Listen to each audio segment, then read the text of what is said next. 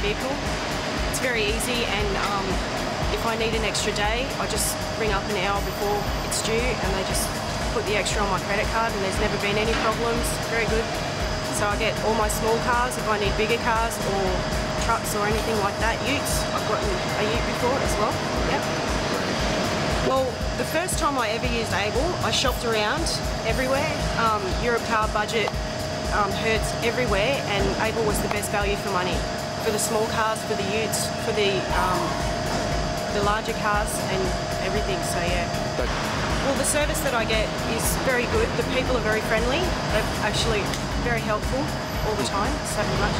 And whenever I bring the cars back, there's never any problems. I'd give them five stars because they're the only ones I use.